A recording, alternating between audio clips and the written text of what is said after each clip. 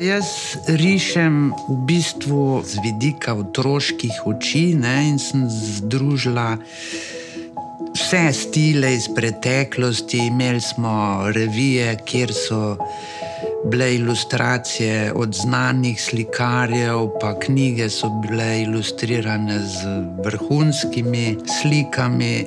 Z eh, teh sem se učila, potem smo imeli tudi zgodovino slikarstva, sem tudi to rada gledala. Pa sem pa združila vse. Ta znanja ne, in gledati sliko kot informacijo. Recimo, en mehen bo narisal, kar najprej vidi. Ne.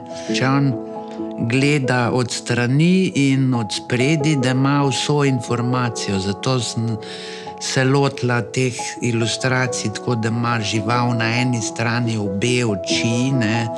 morajo se videti vse štiri noge, če jih ima. Tako da po mojem to otrokom všeč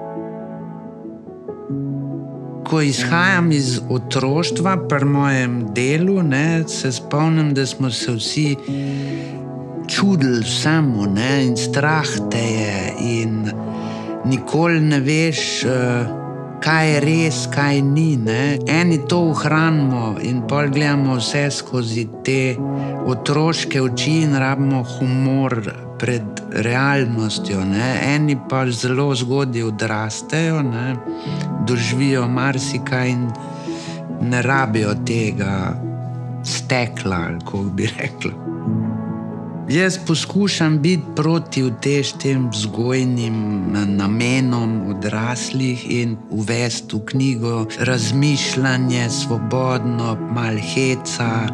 Ne, tudi recimo vprašanja, zakaj, ne, pol odgovarjam totalne umne odgovore. Ne, tako da zmeri sem se približala otrokom, tako enim, ko so sramežljivi, ne, da sem čist neki trapast ga rekla. In pa se je on opogumil in se je začel z menoj pogovarjati.